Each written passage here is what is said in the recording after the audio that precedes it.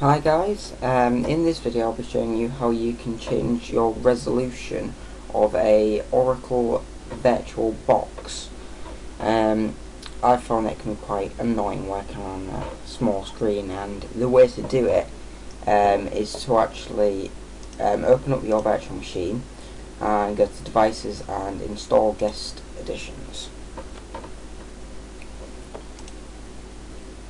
And once you've done that, um, it'll bring up a box saying do you want to install this? And then you just click run. Type in your root password. And that should go ahead and install. Um, once that's done you'll need to reboot the machine. And from there you should be able to actually change the screen resolution. So once that's finished you'll get a thing saying press return to close the window. Do that and then reboot the virtual machine so go to shut down and restart.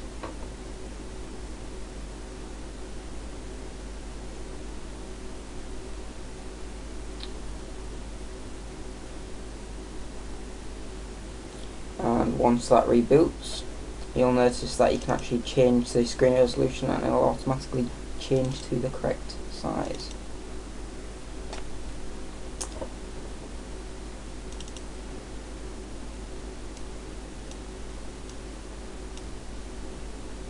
So thank you for watching. If you've got any questions or if you didn't quite understand what I did or if there's anything else you'd like to see then uh, make sure to comment below.